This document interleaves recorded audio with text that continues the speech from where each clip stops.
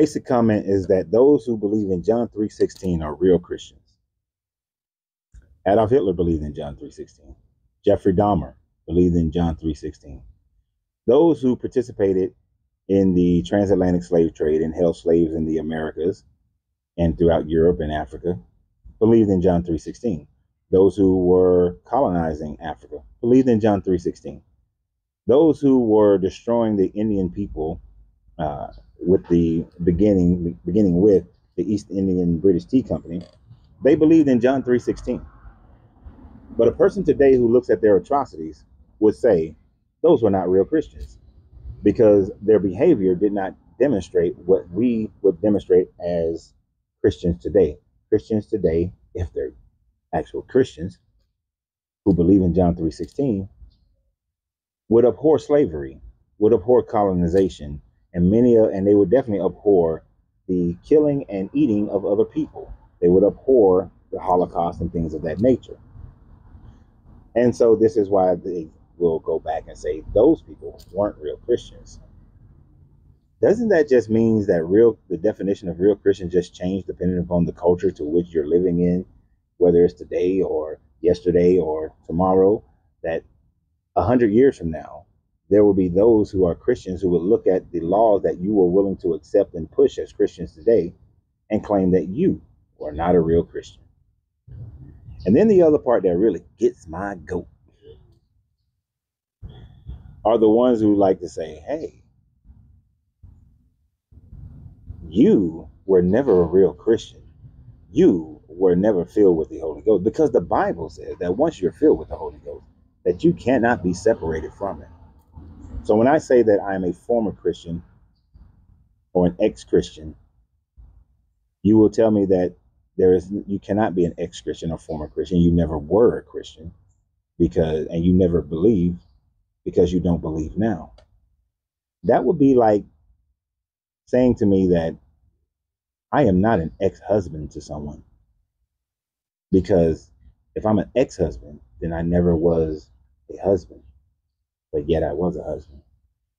That since I'm not in the Marine Corps anymore, and I got out after nine years, that I'm not a former Marine, that I, I can't claim to be a former Marine because that would mean that I've never been a Marine. That's the logic that you have with your Christian ex Christian thing. That I could have never been a Marine if I call myself a former Marine.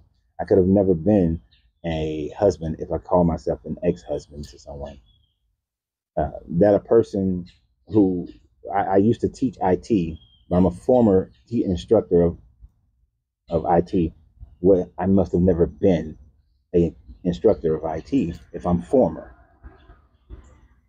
Because a person decides that they want to change something in their life doesn't negate the fact of how deeply they believed or followed something when they were in that in their life that level of judgment is the same level of judgment that I will place upon you.